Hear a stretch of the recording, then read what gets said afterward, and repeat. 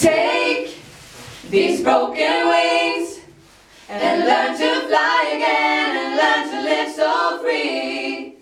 And when we hear the voices sing, the book of love will open up and let us.